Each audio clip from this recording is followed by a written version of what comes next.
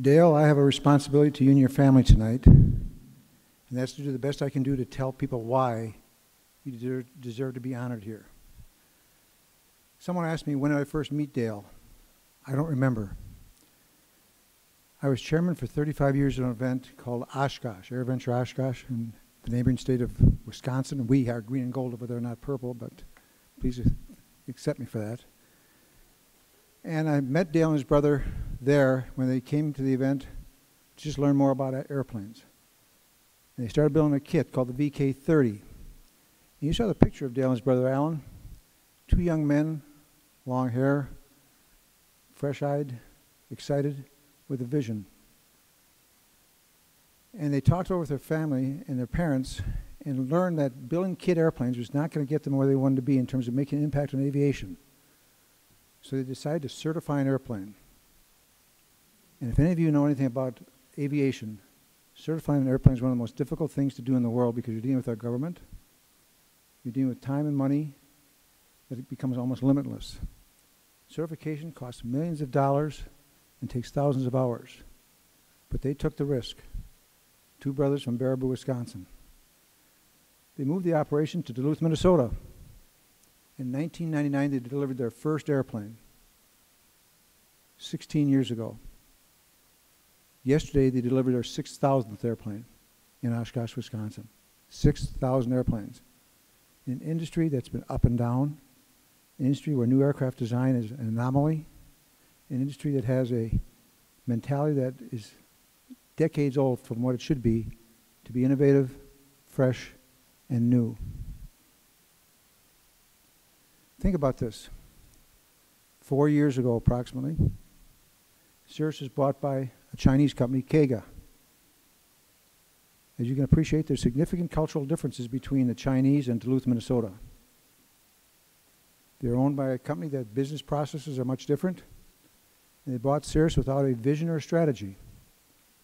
The only thing they want to do is become a global leader in aviation. The CEO at the time was released, and they asked Dale to assume CEO of Cirrus in September of 2011. He'd never been a CEO before. He took over a company that was near bankruptcy, significant debt, new owners, and a short order book. Quite a challenge. Less than four years later, they've been profitable for the last two or three years, have sold over 300 airplanes, are introducing a jet, and the revenues will grow from 150 million four years ago to almost half a billion dollars in, within the next year or two.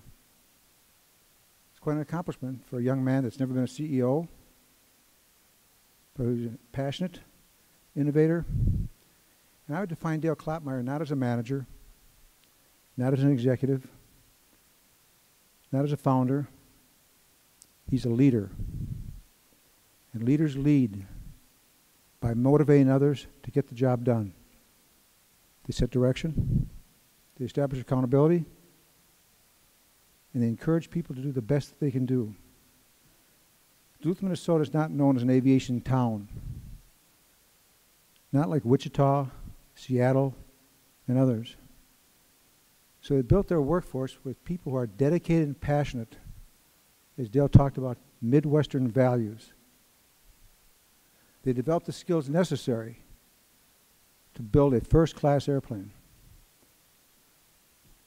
I would describe the Cirrus aircraft line of aircraft by the three S's, style, safety, and speed. Those are anomalies. Usually speed doesn't lead to safety, and style can be very difficult in an airplane where you have to have certification regulations. But they've incorporated all of it. Dale and his team designed an airplane that was appealing to the customer, keeping the customer in mind. He developed one, designed one that has speed and safety. The airplane with a parachute. A gentleman walked up to me yesterday at the Cirrus exhibit and said, My wife will only let me buy an airplane that has a parachute. You know, there's only one airplane that has a parachute? The Cirrus. Last year, Cirrus had almost 5,500 airplanes in the field, 5,500, only three accidents. An all time record for them the highest level of airplanes flying today. They have become the leader in the general aviation field, owning 48% of the market. How did all that happen? Number one, Dale has an innate sense for what the customer wants. He just reorganized his company. He's established two presidents. One president is in charge of customer experience. Pretty unusual title. But what it says is the customer is the most important thing that we have. We want to be sure they not only get the best products, but are totally engaged in what he calls Cirrus life. Yesterday, or the last two days, we were in Oshkosh together. On Sunday night, he had a reception for Cirrus aircraft owners and friends. Almost 1,200 people attended, including Cirrus owners such as Ken Griffey Jr., the coach of the Dallas Mavericks, Rick Carlisle, and a concert by Cirrus owner Dierks Bentley, complimentary to all of the people there. Last night, Dierks and Cirrus presented a concert to people of Oshkosh, 20,000 people strong. That's customer engagement. That's customer experience. You know, when people are buying an airplane, many would say, I'm buying it for transportation. More importantly, it's a family expenditure with discretionary time and money. So engaging the family is extremely important. So I'm very proud to introduce to you tonight Dale Klapmeier, a leader, a visionary, but most importantly, a person who speaks from the heart with passion and dedication. And it's the respect that he has from his customers and his staff and his employees is why he has been successful in leading a company in an industry that has not been as creative as it should be. And he's becoming a leader, and Minnesota should be very proud that aviation is alive and well in Duluth, Minnesota. At this time, please welcome Dale Klapmeier as your next inductee.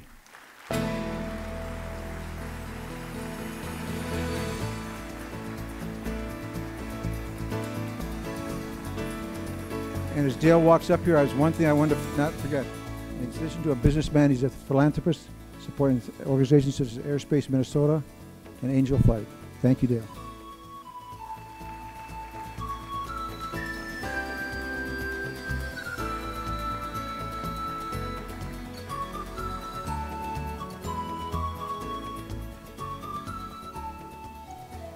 Well, thank you very much.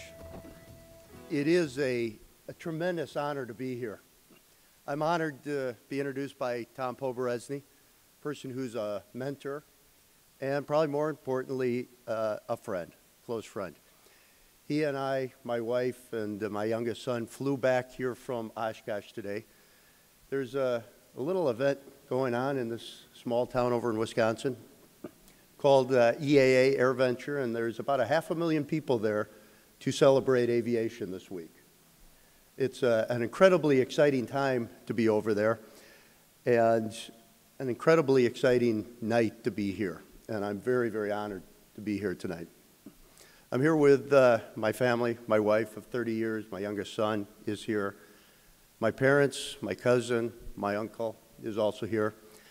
And people do always ask, you know, who were my mentors?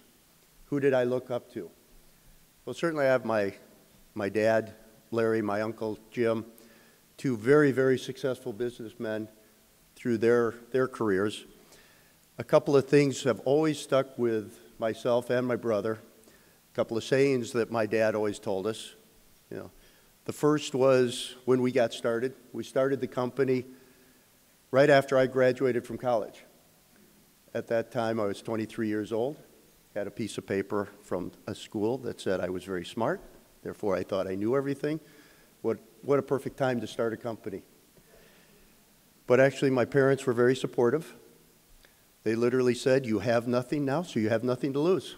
Why not? it's a great way to start. But they also said, Don't ever do anything for the money. Do what you love and do it the best, and the money will come. And that's how we ran the business. We didn't do it for the money, we were incredibly passionate about aviation. We think about aviation every day, we think about airplanes, and more importantly, we think about how people use airplanes. And it's, aviation is so much more than the product on airplane. It's everything that is around that product. And what the airplane does is bring people together.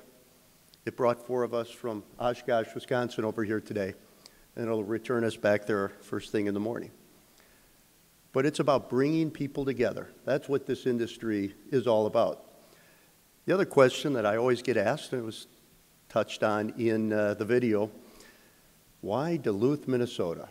We started in a barn in southern Wisconsin, and we moved the company to Duluth, Minnesota 20 years ago. We certainly didn't move there for the weather, nor did we move there for the tax environment in Minnesota. We moved there because of the people. There is a quality of people in the northern states, in, in Minnesota, and in northern Minnesota.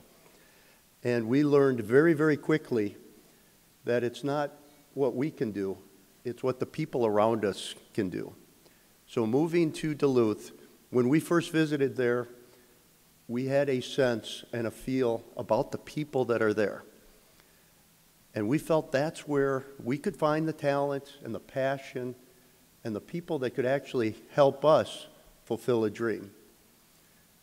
Our job was to inspire that dream to others and then for them to help us fulfill it. And that's what we found in Duluth, Minnesota.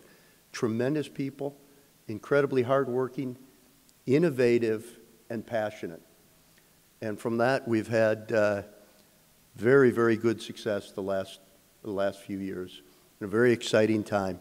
And I am incredibly proud to be up here accepting this award. I'm truly honored and happy to be in front of all of you. Thank you very much. Well